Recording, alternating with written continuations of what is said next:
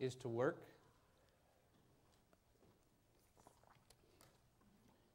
I'm going to go over an intro about the overview about how the Bible talks about work for a few minutes, and then I'll get into our text in Colossians and look specifically at what the Bible has to say about work in, Col- in Colossians. So let's go ahead and pray ask the Lord to help us in this time of worship. Lord, we want to, because of your gospel, we want to work at worshiping you now in this hour. We need help, Lord, after a, a long day, and, and you've been very gracious and good to us in this day. And we want to focus our minds and our attentions on you, on your cross, and how that affects how we work. So, out of gratefulness of the salvation that you bring, please, we worship you and, and ask for your help now to be able to worship you with a pure heart, humble motives. Please help us to, to think rightly and live rightly. Thank you, Lord. Amen.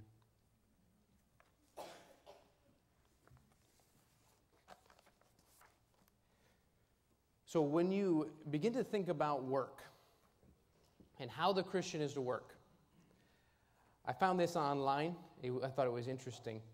It's from an uncommonforum.com. So, this is just an online forum where people are talking about work. And one person writes, I'm 28 years old, and I think I have over, I've had over 50 jobs in my life. I cannot remember them all to make a list. Most of them don't last but a few days or weeks. My longest job working consecutively was about a year. I have in the past suffered from depression, anxiety, low self esteem, no confidence, self loathing, delusions. I just landed the best paying job I ever had. It had amazing benefits and great pay. I was so excited and actually proud of myself for once. I felt like a respectable member of society. But after one day of working there, I decided it was too hard for me to learn. I was scared of screwing up and being humiliated, and that I didn't really like the work itself. So I wonder why I had even applied for it in the first place. The obvious answer being money, so I can support myself, but I guess because I still live with my parents and I have very few financial responsibilities, that I didn't really want to work. I know that everyone has to work, I just can't make myself do it. I feel like I don't even care about money. I know if my parents kicked me on the street, I would feel differently, I just want a job that has low stress and low responsibility. But I've had jobs of that kind, and I quit them also. I'm so confused. Is my problem stemming from a mental disorder, or am I just plain lazy? So people begin to respond in this forum. Here's the first of what I would call as the get the job you like response. Somebody responds, Hi, it sounds to me like you haven't found a job you enjoy. Have you taken any aptitude tests? Somebody else with a similar response says, I think you'd be surprised how many people feel the same way. This happens when the job is not suited to the person. The right job is one that you wouldn't consider as work. Only you know, only you know what that is. Is that the right response to work? Is that going to answer the solution that this problem ha- this person has? just get the job they enjoy. 50 jobs. You think they find out of 50 jobs, they find one that they liked. Is that really the, the issue about work? Would you be happy and satisfied at your workplace if you just got the perfect job? What is it that you, what's your hobby? And if you could just do your hobby, then work would be a piece of cake, wouldn't it? Do you believe that? That's happened to many people, and they're not satisfied in work. That's not the biblical solution. Listen to this solution. I call this one the, the psychological disorder solution. You, you might not be mentally ill or lazy, but being in the wrong job can do harm for your mental health and motivation. I'm 41, but had loads of jobs. I, re- I was retired on medical ground in the end due to psychological stress. Turns out I'm not able to, I'm unable to work with people not of my choosing. Due to over, absorption of negativities from them and workplace bullying, me as a victim. I have rediscovered work I'm interested in, abstract art. which I'm currently doing, but unpaid, but as I'm on benefits. I have difficulty with, to- with tolerating other people. I'm friendly, I'm just overwhelmed by them. So I want to work alone. I also have difficulty with the thought of money, even though I manage my, money, my budget well. Psychological issues lie at the root of these. And once I've progressed enough to the area where I'm confident in myself, I will come off benefits and work for myself. So I'll have more income that way. Is it a psychological order uh, or a psychological disorder? Is that the problem of why people are not happy at work? No, that's not the issue. Let's hear one more response. I know what you're going through. I feel the same way about work. If it wasn't for the fact that I need money, I would never set foot in the workforce again. I hate it with a passion. I hate how I feel when I walk through the door. Utter fear and loathing. I know with me it's not laziness, it's just anxiety does not allow me to have any confidence in my abilities. I am constantly afraid of messing up and being humiliated. I'm a slow learner, which is a huge issue for employers. Nobody wants to explain things over and over again. My self esteem is shot to pieces, and the more I have to work, the worse it gets. I have no problem working hard and getting my hands dirty. If I was able to run my own business, I would, I would probably thrive at it because I have a lot of motivation and pride in my work. It's just working with other people I have problems with. I just get too nervous and can't perform. Another stressor is the constant pressure of deadlines at work. I'm a housekeeper in a hotel. I have strict times to keep up with. So, what this other person responds with is, I know how you feel. That's basically her response. I know how you feel, and I hate work.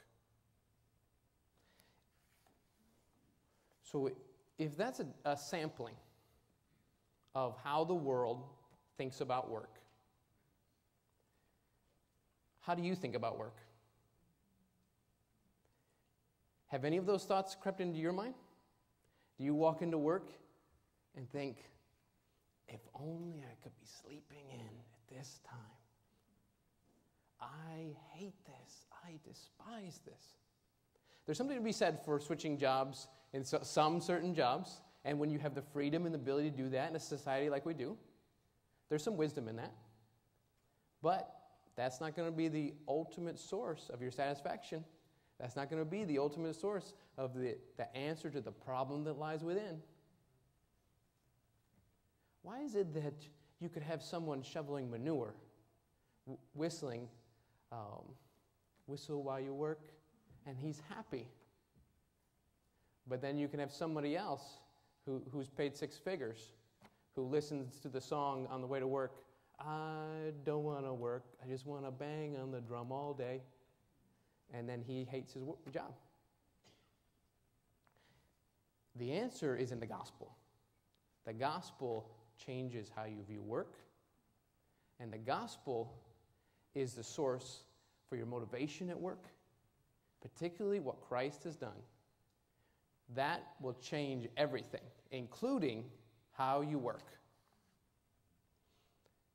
Okay, so let's think through an overview of how the Bible talks about work. Let's go back to the beginning. Who is the first example of someone in the Bible where you see someone working? That's right, God. God is the one. Somebody had the right answer. God is the one working. He's at work making the world, and then he rests on one day to set us an example. Now, he does a, a, a great work, and he sets up Adam doing work in the garden. Pre fall, work is not the curse. Work is not the curse, it is a blessing from God. And it is a pre fall, or it's a pre fall command of God. So then, what happened in the fall? The curse made work difficult, hard. Sin makes everything hard. And sin made work hard. But work from Genesis to Revelation, work is redeemed by Christ and what he's done.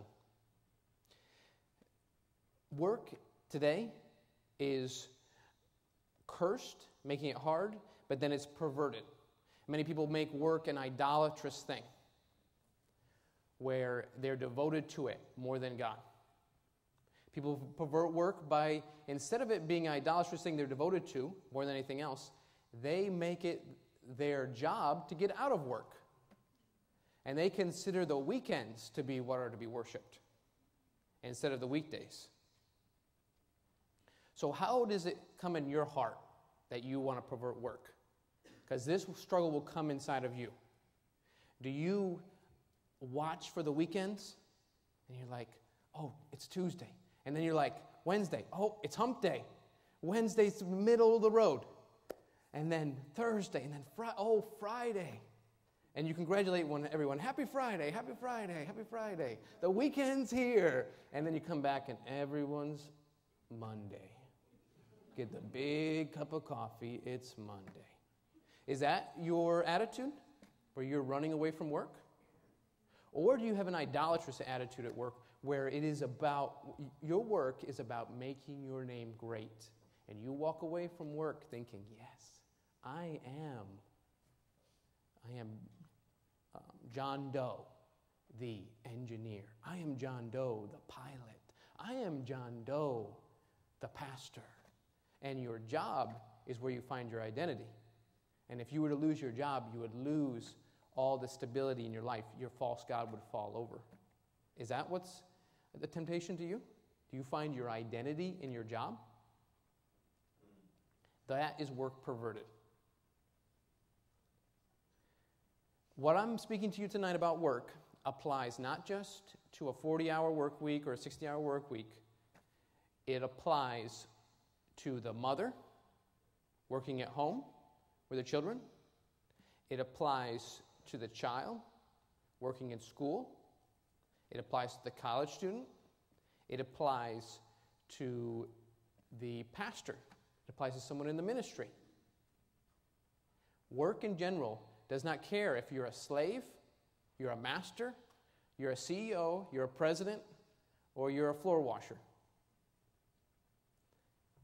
When God speaks about work, it covers them all. He's very wise in how he does it. There's a great perversion about work. Another big principle to understand about work is that there has been a great division between the secular and what is called the sacred. This is a perversion popularized by the Catholic Church, where somehow the priest because he does a work for God, he's in the ministry, his work is much more valuable than this farmer over here. And that his work is just so that the priest can eat. His work is just to get along. And while you do the mundane, I will do the glorious thing. Do not have a disdain for the mundane. Because in the mundane, the glory of God and the gospel is revealed. The Bible has an idea called calling or vocation, where the plowing the field is what, if that's you're a farmer, the plowing the field is what God wants you to do. So you can do it with all your might and with all your soul, working as to the Lord just as much as if you were an evangelist and how was your job preaching the gospel. If you're a mother and you're, do, you're, you're changing diapers, folding socks, cleaning house, that job in God's eyes is just as pleasing as the pastor preaching a sermon. Think about how exciting that is that you can go to work tomorrow with as much vigor and worship to Christ as you came in to worship the Lord on Sunday morning. This is an exciting thing, and all these things are for the glory of God. Do not have a disdain for the mundane, but have gospel driven work. Gospel driven work.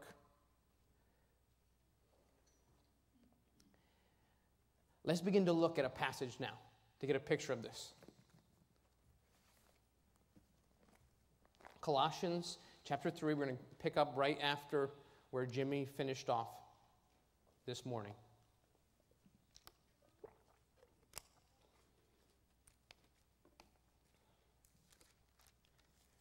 To give you a brief overview and review, to remember the book of Colossians, we got two chapters that are focusing on theology and two chapters that focus on practice.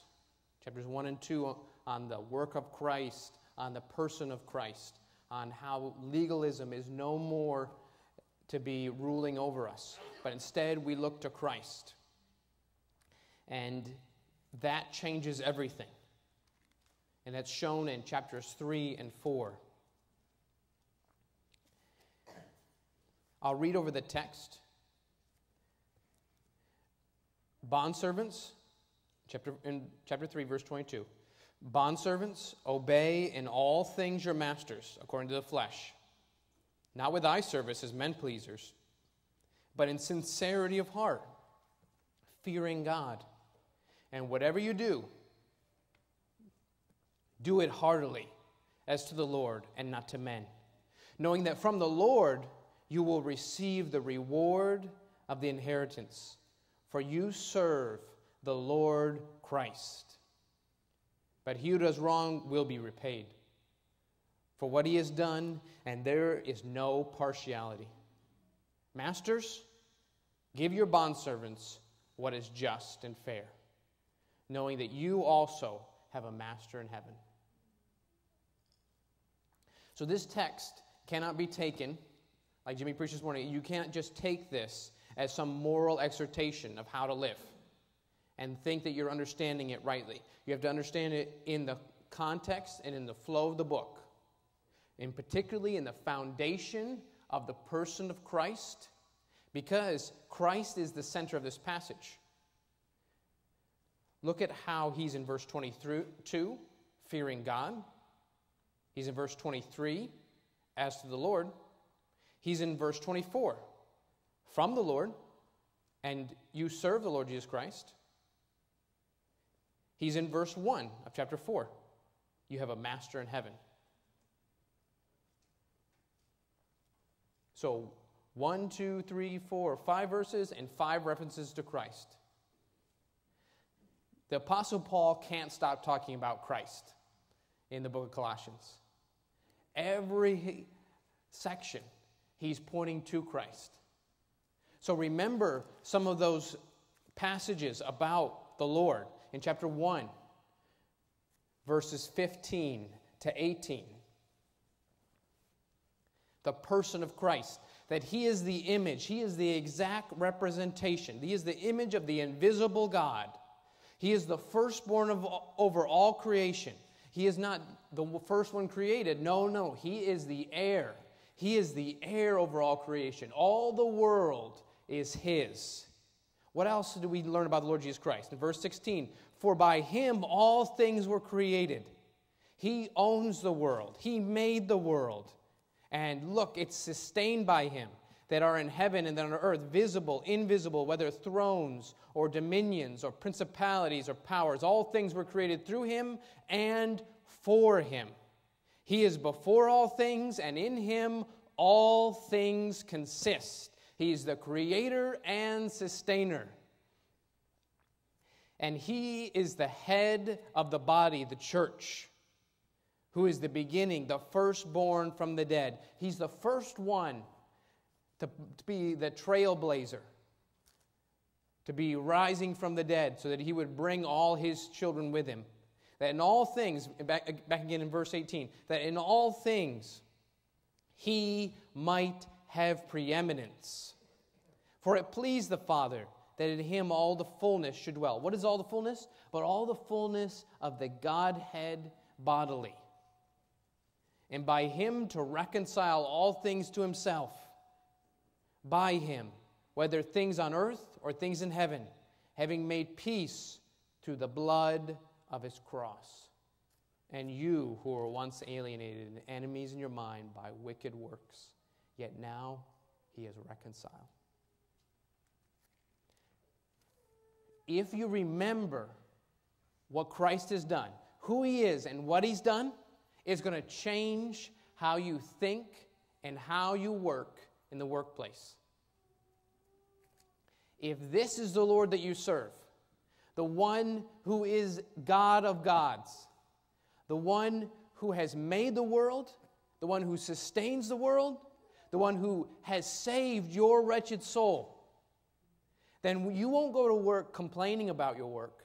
You'll go to work thankful, giving praise to Christ that I don't deserve a job. I was at work on a Saturday and I, I asked the guy, Hey, how are you doing? And he said, Well, it'd be a lot better if it wasn't at work on a Saturday. I said, Well, work is a gift from God. And he said, No, work is a necessary evil to pay the bills. You see, what is his problem? A psychological disorder? Maybe he needs a job that's just right for him. Well, what if he has to work that job on a Saturday? No, what he needs is the gospel. What he needs is to understand the work of Christ. What he needs is to understand his depravity and his wickedness against God. Do you understand that? If you don't understand that, then you will not understand what I have to say for the, the last half an hour. This is the key to have the gospel at work. This is the key for you to be a Christ centered, God honoring worker. Whether you're a mother, whether you're a student, whether you're a pastor, whether you are a, a man who is working for a company or a lady working for a company. Does the gospel, is it true in your life? Well, in Colossians, back in Colossians 3,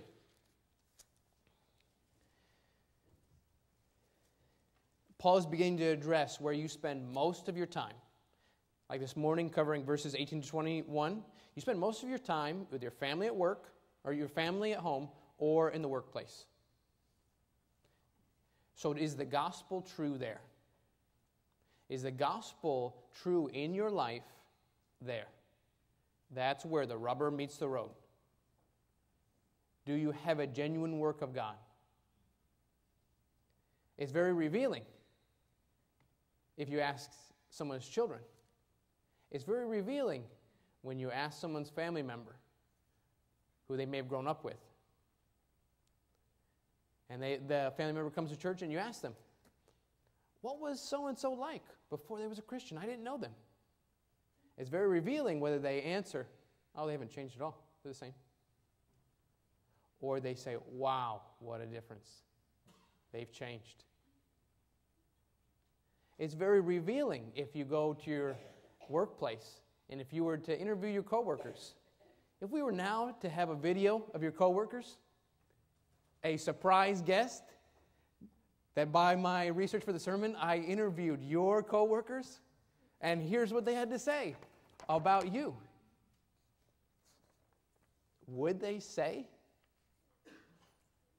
that this person is a genuine Christian?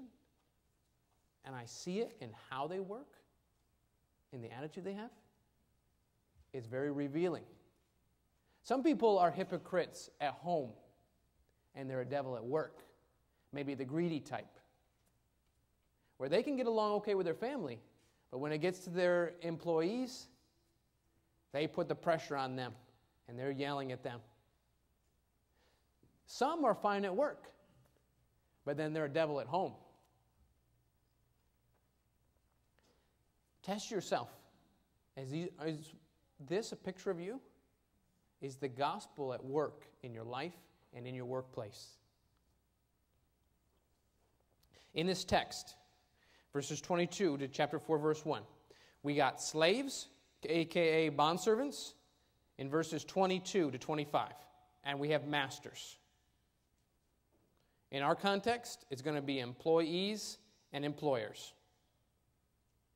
Two categories directly addressing them. In your outline that you should have received in the bulletin, there's three points verses 22 to 23. How you're to work. You're to obey your earthly boss with all your heart as unto the Lord. Verses 24 to 25. Why you're to obey your employer. Because you are to be a slave of Christ, a slave for Christ. And in verse 1 of chapter 4, if your employer, you are to give what is just and fair. He explains how and why you're to do your work as a supervisor, as an employer. Okay, let's begin to look at the text. Beginning into verse 22 bondservants or slaves.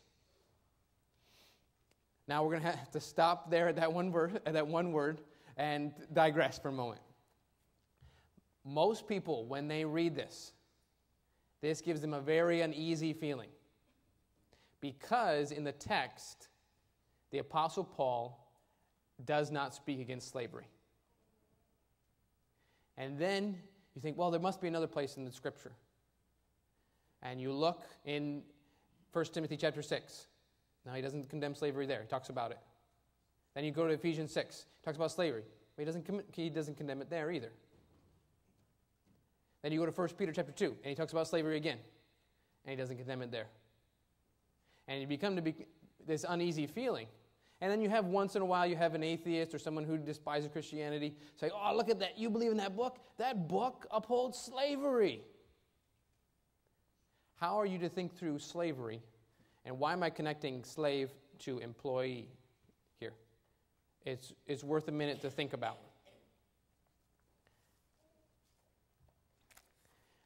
Slavery needs to be understood in the first century context. So, why does the Bible not condemn slavery? Well, first off, there's differences between our modern day slavery and what the slavery that's happening in the first century. In the first century, it's not race based, it's not lifelong, it's not based in kidnapping. Those are some major differences. God does hate the slavery of 19th century America race based, lifelong kidnapping. Make no mistake about that. God does de- despise and hate that. And we praise God it's abolished. So in the first century, there are differences. You could enter slavery voluntarily or involuntarily. You could be a slave who's a doctor. You could be a slave who's a professor. You could be a slave administrator, civil servant.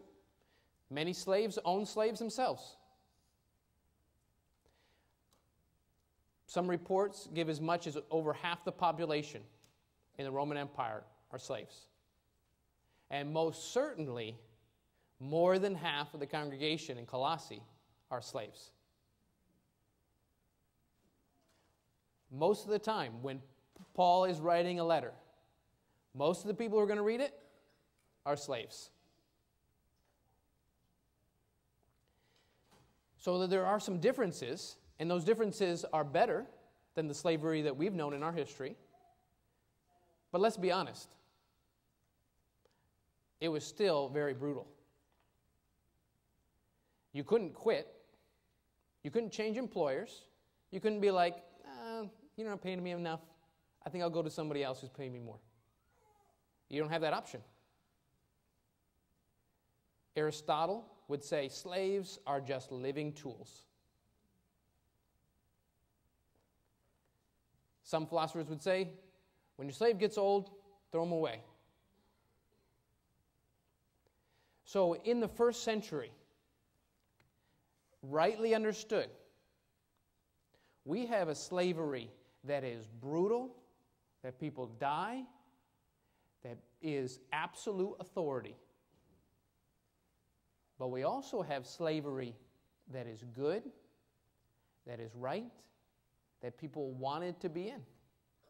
In Deuteronomy 15, it talks about the slave who wants to continue with their master and a ritual to perform to pierce their ear, to show their dedication to you. God gives outlines of how to rightly treat a slave in, his, in the, the Word of God. And the gospel has slavery in the message. That Christ calls you not to be a slave of sin anymore, but to be a slave of Christ. And that that message of absolute authority with a perfect master was one that was a, one of rejoicing for the church of our Savior. So, the way John MacArthur talks about it is God is not concerned about the system. Because if you change the system, you don't change the heart. If you change the system, consider, for example, 1800s England, where they abolished the slave trade. It, but then in that Victorian era, they have a capitalistic employment, and many children go to work. No more slave trade, but what do they do? With, have has their hearts changed? No, they put many children to work, and many, many children die. It, they're beginning to run new machinery, and the children are the ones who are small enough to get in and work around the machinery, but the machinery is still work, going. And many children die in Victoria, England, around the machinery or lose fingers, limbs. The coal mines were notorious for this because because the children could were, be able to get into small places. But many of them died by explosions or collapsing or they're crushed under tubs or horses in the mines. What I want you to see is that in that historical example is that the society changed the system but the heart didn't change. So instead of some particular race being oppressed, a particular age is oppressed, or a particular gender is oppressed. What Christ is concerned about is the heart and the gospel. The system itself could be beautiful because it is not race based, not lifelong, the average time 10 years, not based on kidnapping. But instead, look at some of how the Bible talks about it. In Colossians chapter 3, in verse 11. In verse 10, he says, And I have put on the new man. He's talking about how to put off sin and put on the new man be sanctified, put on the new man who is renewed in the knowledge according to the image of him who created him, where there is neither Greek nor Jew, circumcised nor uncircumcised, barbarian, Scythian, slave or free. But Christ is all and in all. So he's making very clear that the gospel makes it so that there is no one particular people that is, has a value more than the other. But in Christ, we are all equal. In Philemon, if you look up verses 15 to 16, you see the interrelation in the church between a master and a slave and how that is to be. And how the slave who ran away, Onesimus, ran away from Philemon, and how Philemon because of the gospel, they're reunited. And it's a beautiful thing. And they are brothers in the Lord. So, the first century, rightly understood, slavery could be a beautiful thing if the gospel is at work. If not, then it would not be. Okay, so with that historical background, that biblical background. Understand now, how you work in that society is with slavery or being a master. So, because of that's how you work, how do we work in our society? Whether you employ people or you're employed, or both. So, making the, the, the jump across the interpretation bridge from that society to this one, apply now this passage to your life. Bondservants. Verse 22 Obey in all things your masters according to the flesh, not with eye service as men pleasers, but in sincerity of heart, fearing God. So there's a series of commands. Here's the first one Obey in all things your masters. So when you go to work, are you ready to obey? Are you ready to obey not just in deed, but what about when your supervisor walks away? You know this happens at work. As soon as he walks away, what does everyone begin to do? Complain, talk about him, talk about what a stupid plan this is. I could have come up with a much better plan. They obey out of, in, in, in body, but in attitude, their heart is far from it. How do you obey? Do you obey like that? When you're given an assignment that may not be the wisest plan? When your supervisor is not the kindest person? When your supervisor yells in your face, can you respond with a gospel driven kindness and work hard? What a beautiful picture of the gospel. But when where you respond to an evil boss with great hard work. Obediently, not just in the body, but in the heart, in the attitude, in the mind. Could you do it and be a slave? That's what Paul's doing. You have it much better. You're not a slave. Where is there a slave among us? You are freed men. And Paul calls and commands slaves to do it. Why can't you do it? When you have a time when you're off the clock. You can't even do it for some eight hours, 10 hours a day? No, but you must obey as if Christ was your supervisor. If Christ was your supervisor, would you have that same attitude? Well, listen, He is he is your master. He's your master at work just as much as he's your master in this building. So, how are you going to obey him? Because he wants you at work, most likely tomorrow. And he wants you to obey out of the heart. In 1 Peter chapter 2, verses 17 to 25, he speaks about when you have an evil master. How are you to serve him? But you're to obey him even when you have an evil master. If you had time to talk amongst yourselves about all the evil bosses that you've had, you would tell story after story after story after story after story. Everyone's got a story about a oppressive boss.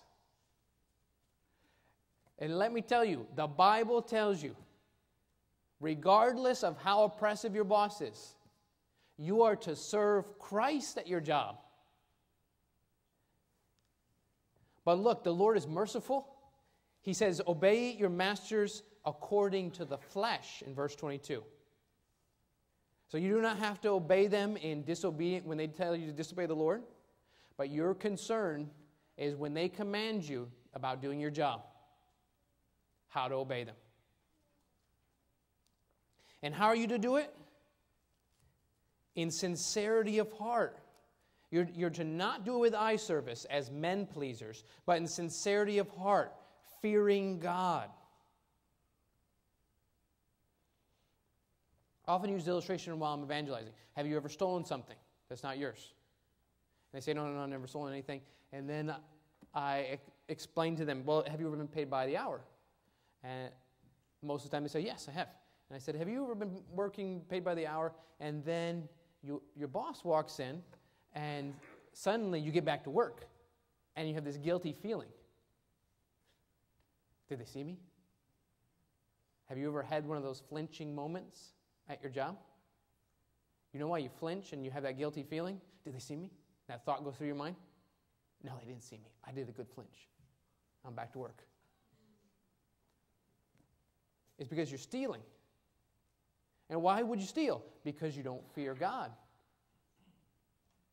You're doing work as eye service, as a man pleaser, but not in sincerity of heart, fearing God. If you were to fear God, then you would do it from the heart. They could have cameras on you all the time, and you would not care. You could have a clean conscience and great joy. If you fear God, there is great joy and trembling at the same time. That's how the disciples responded to the resurrection with fear and joy at the same time. The two are not in- incompatible. But the fear of God is a continuing, clear theme throughout the scripture, and it is to influence you on how you work.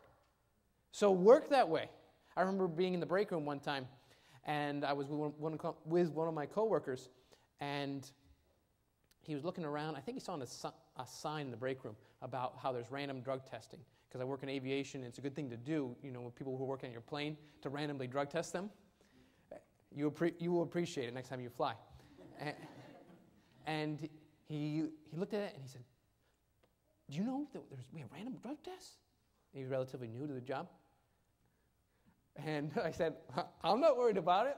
I don't do drugs. Let them take random drug tests whenever they want. And do you see what happened? He exposed himself. Why would he be afraid? If he was a man pleaser, then he's afraid. He's afraid of being caught by men. But if he feared God, then he would not do his dirty deeds in the dark. But he could work with joy.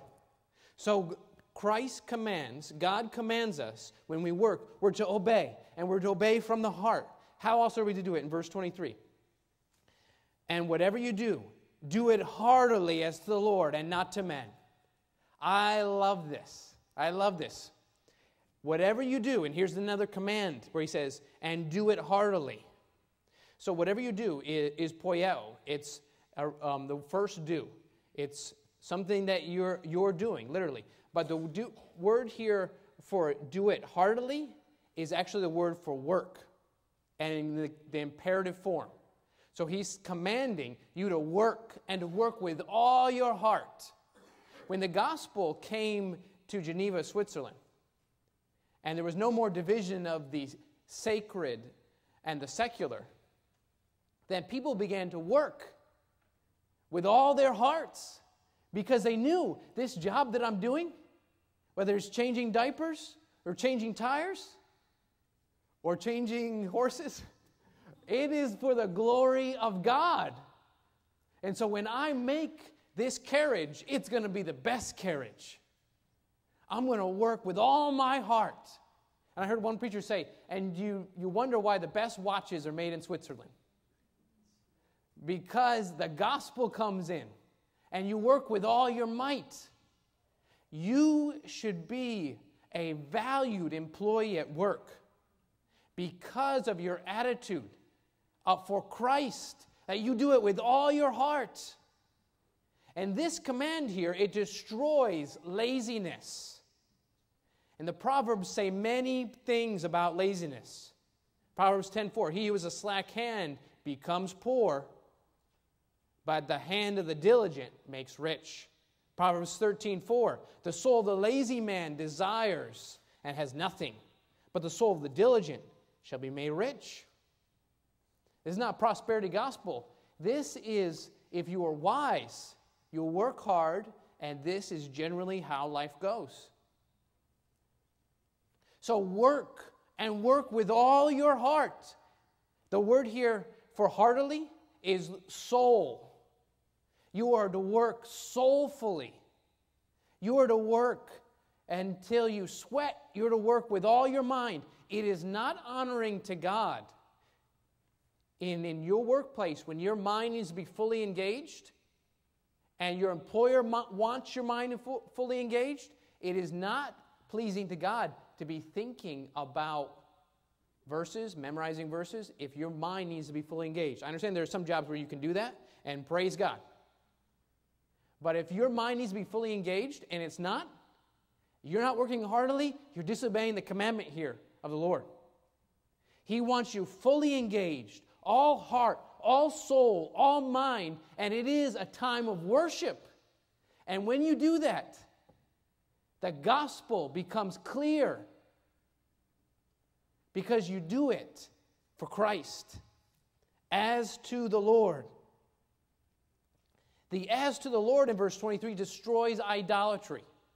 It destroys the worship of yourself through your job and how you make your fame, you make your name great through your job, that you're a somebody. No, you're to do your work not for yourself, but as to the Lord. Work in the scripture is upheld. In 1 Timothy 5 8, talks about someone who does not provide for his own. He's worse, worse, worse than an unbeliever. If you don't work hard and provide for your family, you're worse than an unbeliever. Even the unbelievers do that.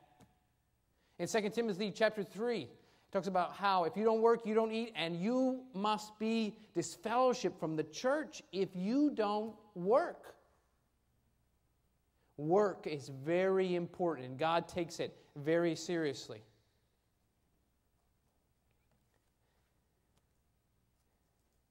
In, now, in verses 24 to 25, why we're to work. Continuing with the employees, knowing that from the Lord you will receive the reward of the inheritance. For you serve the Lord Jesus Christ. You serve the Lord Christ. This may be my favorite verse in the passage. He is saying, Why to work? Because you have an inheritance that's coming. Think about what encouragement this is for a slave. You could not receive an inheritance. And then he says to them, Oh, you have a great inheritance coming. Your inheritance, you don't see it now, but it's waiting for you in heaven. All the work that you put in, and they look around and they see other slaves, maybe some who buy their freedom and they begin to be masters and they work up the ladder and they see that they may never be able to uh, get to that point. And what about my job? If you're in a, a job where you're like, why am I here? And it's burdensome to you, think about how, what joy and encouragement this should give you. When do not disdain the mundane, because you're building for yourself a treasure in heaven. You have an inheritance that doesn't come in these trinkets of this life. Your inheritance is not in your 401k. Your inheritance is not what's in your bank account. That's going to pass away. Your inheritance will come from Christ. In Colossians 1:12, he speaks about the inheritance that comes from Christ. And why why else are you to do this? For you serve the Lord Jesus Christ. This is another imperative. Because you're to be slaving for Christ. That's literally what the, the verb is. The same word for slave. You are a slave of Christ. That's why you work. That's your motivation. That when you go into work tomorrow morning, work with all your heart, all your soul, with all your mind as worship unto the Lord because of what Christ has done in the gospel. This is where you find your identity. This is where you find your value that you are a slave of Christ. So if Christ was your supervisor, would you work with all your heart and soul and mind? He is. He is your supervisor. He is your master. So work. And it will be pleasing unto the Lord. Don't you want to please the Lord? In verse 25, he says also why to work. But he who does wrong will be repaid for what he's done, and there is no partiality. It doesn't matter if you're an employer or employee, payment will come. What you reap, you will sow. It doesn't matter if you're a master or a slave, what you reap, you will sow. God does not care about who you are. There's no partiality with Him. If you're stealing, He knows it, He will not bless you. If you're disobeying with your attitude, God has no partiality. If you're a grumbler and complainer, look at the Israelites who grumbled and complained. Should you not fear God? He has no partiality. He punished them. Should he not punish you? If you have greed in your work and that's what motivates you, your greed will find you out. If you have idolatry and you worship your work and your position and your pay, then God will not be mocked. He sees why you work and how you work. So work with all your might. Now, to close, verse 1. How are you to employ?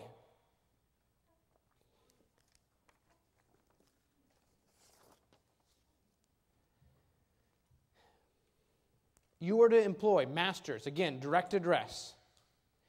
Give your, serv- your bondservants what is just and fair. Here's the command Give your bondservants what is just and fair, is the command knowing that you also have a master in heaven. You see the, the gospel motivation again that you are a slave, you are under authority. If you're employing people, consider how you can give what is just and fair. If you don't pay them well, you're like James 5 4, where the people um, who end up being deprived because you don't pay for them and pay them fairly. That's how the, um, the re- rich will weep and howl when the judgment comes in James, because you're not giving what is just and fair. Do you care for your employees as those who are under you, those who are under your supervision? Do you care for them as whole people? Are you concerned about how their family is? Are you concerned about the hours that they work? Are you concerned about them emotionally? Or do you just care about the, their, their work and whether they complete it? If you're an employer, do you consider about uh, are you self sacrificing for them? Do you consider your leadership over them the leadership like Christ had? Where even the Son of Man did not come to be served, but to serve and give his life a, ransom for many? as in Mark 10, verses 35 to 45? Do you see serve yourself as a servant leader like that? Do you help your employees to grow, to become better at what they do? Or do you just hold them accountable for their output? Are you thinking about their future and helping them? Do you give appropriate reward and appropriate punishment as an employer? Do you give what is just and fair? Well, I'm not saying you don't fire people as a Christian boss. Sometimes it is just and fair to fire people and necessary. But it is just and fair to pay people what is appropriate. Are you concerned about whether they're working too much? Are you concerned about the pressure that you put on them? Are your expectations unrealistic when you're a supervisor? would you not be able to meet the expectations that you have about your employees? Many employers will push and push and push until they hear the scream, until someone stops them.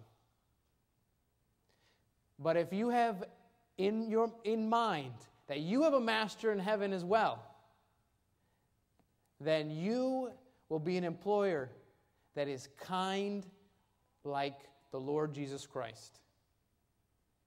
So think with me now. Back to our original illustration about the lady in the forum who hates her work. Think about the, the people who think through, am, am I just lazy? And they switch from job to job to job to job and can't find any satisfaction. What's the answer? What's the answer? The gospel at work. The gospel at work is the answer. That you are to obey and do your work with all your heart, all your soul, all your mind, as unto the Lord because you are a slave of Christ and your inheritance doesn't come here, but it comes in glory. So work to that end. Work to please Christ. And I tell you, you can have joy shoveling manure. You can have joy changing diapers. You can have joy digging ditches. You can have joy at the most horrendous work, and then you'll see somebody drive by in their, their brand new Lexus, grumbling and complaining as they go off to their six figure job. If the gospel is true, then it allows you to work, and it makes your work the best work. The best work. So let's give honor to the Lord. Lord God, we thank you that you give us instruction and work. We need it so much, Lord. I know that tomorrow morning, many of us will be at work, watching children, doing school work, talking to our employers, um, talking to the people under us at our jobs. And we need help, Lord, to be able to obey these commands. We need help us to remember the gospel and what you've done. That would be a great motivation for us tomorrow. And we need it when someone, a customer comes yelling. We need it when a uh, supervisor comes demanding. We need that, Lord, in the hard times. Please help us, Lord, to serve you day in, hour after hour, with consistency, pleasing you, fearing you, not men. So, Lord, we know that this is impossible for us to do unless you are with us, unless you have saved us. Please be with us. Thank you, Lord. Amen.